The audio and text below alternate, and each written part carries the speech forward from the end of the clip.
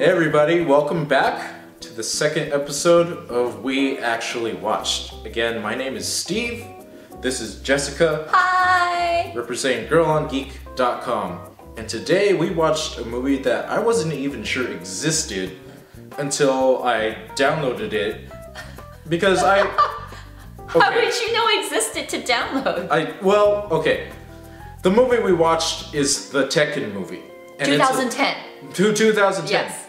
And there's another Tekken movie in the late 90s that was an animated movie, and I had vague memories that that existed, Yeah. and I had no memory that they actually made a live action Tekken movie. So I did not know this this movie, this version of it existed. Right. So Tekken is set in a dystopian future where all the governments of the world have fallen and the whole world is run by corporations.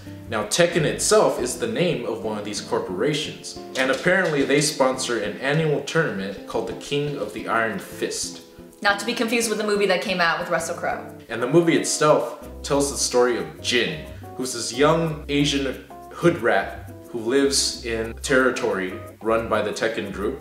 And he spends his time stealing things for underground rebel groups who are doing some kind of hacking scheme thing to, you know, to fight the man, which is the Tekken Corporation. They get assaulted and attacked by soldiers of the Tekken group.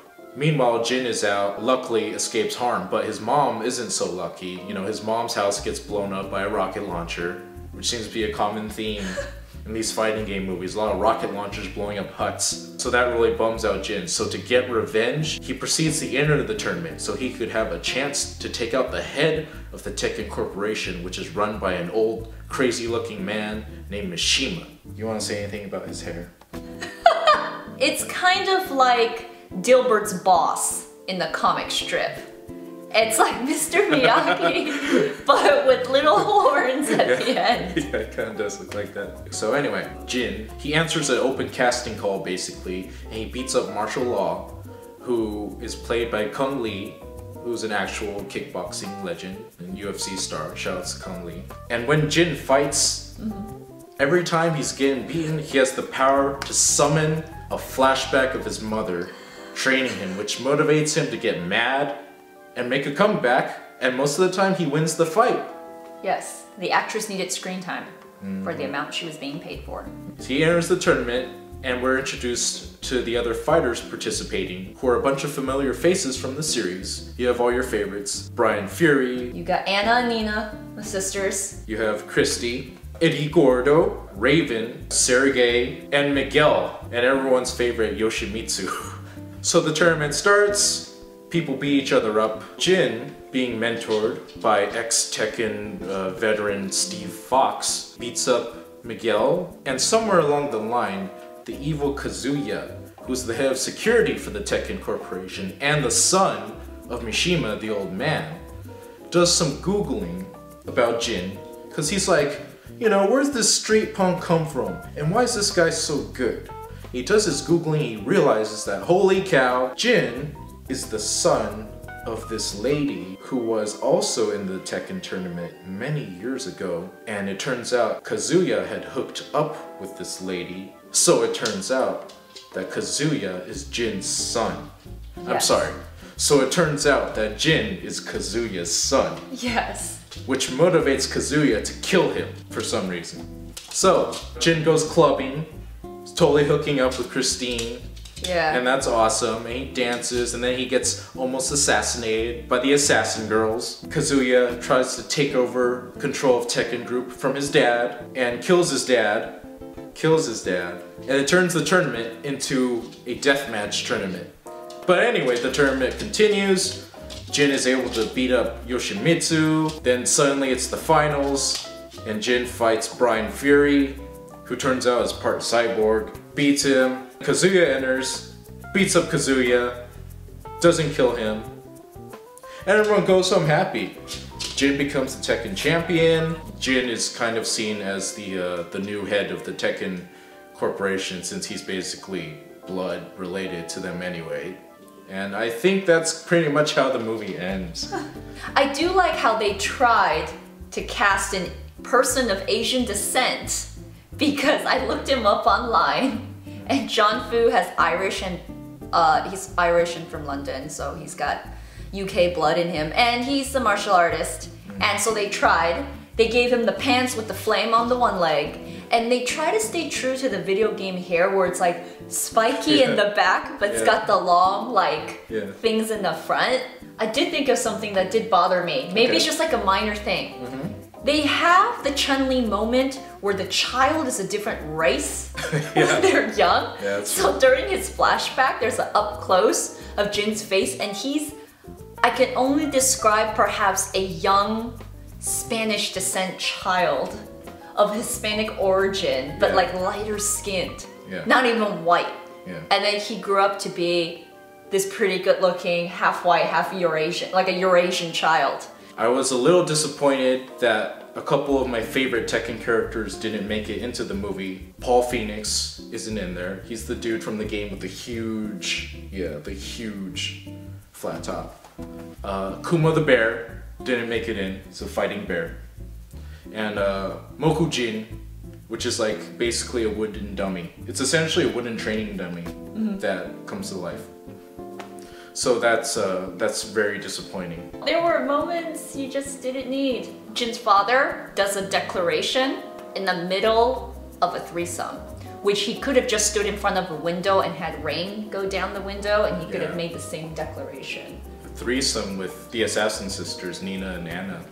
Yeah. Yeah. How's that for your expanded universe Tekken fans? yeah. There is odd moments of just lust that goes out through this movie. I don't know what it is about cinema in general, but when they're intercutting Jin with the blonde hair girl with violence Yeah. in his house that's happening to like his mom and what's you know the house being burned or whatever. I don't understand why it needs to be intercut. It's like film wants us to be conditioned to only being turned on during violence. Yeah. I was like, wow, I don't know what my body wants to do right now. like, I was like, ooh, ooh, ooh, oh, ooh. As Steve and I discussed during the film, there's always an awesome club dance scene. At least we've seen it twice.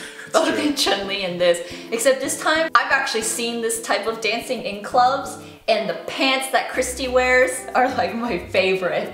Everyone needs to wear pants, like just straight cut, but it's got a V in the back. I like how every time it's a future dystopian, the only sport that survives is always martial arts. Very true. Very good point. Because you don't need anything except your fists and your guts and your balls. You know? okay, Jessica, what was your reaction to this movie? was not as bad as some other video game adapted film movies. This, this one kind of moved along, and since you mentioned earlier, some of the actual people in the movie are UFC fighters or they had martial arts training background. The boy Jon Foo that plays Jin, he's he's a martial artist. You know, at least they tried and they make it look real. I did appreciate that they went and just straight up casted a lot of experienced martial artists and martial artist actors. Yes. And even, you know, UFC fighters and stuff. So all the action looked pretty good. Unlike the reverse case where in Legend of Chun-Li, they just tried to get actors and then just threw them into action scenes with, you know, traditional, like trying to edit around. And even then, that didn't really work out since they still just ended up with actors like Chris Klein, you know, who was awful. So it's like you might as well just cast a really talented martial artist and have him try to act his way through it Yes. than try to cast an actor and have him try to fight his way through it. Yeah, I, I agree. I didn't think it was that bad. From what little I know of Tekken, it's pretty true to the storyline of Tekken, and it's pretty straightforward. It doesn't try to be anything it's not. Yes. You know, Yeah. unlike, you know, another movie we just saw, you know, Legend of Chun-Li, which just took characters, lifted them out, and tried to make a new story around it. This was just, hey, Tekken the game, blah, Tekken the movie. Yes. Just took the controller out of your hand and just let you sit back. It was 2010, so maybe they, they learned after the other Street Fighter movies or Mortal mm. Kombat movies. That's they true. watched. This Yeah. director was like, I know, I know where not to go. Yeah, it's not perfect. I mean, the acting is a little corny, and uh, the story seems to move at a really fast clip. Like, it just went from Jin beating up people to all of a sudden, oh, it's the finals, and you don't really see anything that happens to any of the other fighters in the in the story. So, if you had to grade this movie elementary school style from F to A plus, Okay. where would Tekken the 2010 movie fall? B minus. Oh, Like a C plus B minus if graded on the curve. Uh-huh. And then later on you had to talk to your professor Yeah. to see if you could raise your grade. yeah. So right there, that's the sweet spot. You're right. You would have to grade this on a curve. A curve for video game adaptation movies. And there is a curve for that. Yeah. Because if it wasn't for that curve and this movie just came out of the void, not based on anything, it was just like, blah, this is called Tekken. You'd be like, well, this is a little corny, D minus. but- yeah, I was gonna say. Yeah, D with the curve, yeah. I was going to give it a C plus, which I consider very good for this kind of movie because that's that's passing Yeah. flying colors. Yeah. But I have to knock it down to a regular C because they didn't have Paul Phoenix or Kuma the bear. Maybe the hair would have been not realistic, like exactly. too ridiculous. Yeah, it would have They just couldn't been have done it. way too much CGI to get that hair right. They already went pretty far trying to cast ethnic correct roles. They, they can't go one step further and do the hair now. That's too much. It's stretching That's it. just too much, yeah. They're trying to keep it realistic. Like, this is the Dark Knight of Tekken movies. it's the kind of movie, if it was ever playing late night on cable for free, I wouldn't say turn it off. I'd say sit there and you'd probably be a little entertained. The problem is, I don't think this movie is going to be playing anywhere, and it's almost kind of a shame because it's really not too bad. There are definitely worse movies Oh, out there yeah. by far, adaptation or not. Kind of a shame, you know? They didn't do too bad a job, but no one's gonna care until we tell them to. I wouldn't say pay for it, No. but you know, if you ever stumble across it anywhere or want to download it out of curiosity, not a total waste of your time. Thank you guys for watching the second episode of We Actually Watched. My name is Steve. This is Jessica. Hi. Thank you guys. See you next time.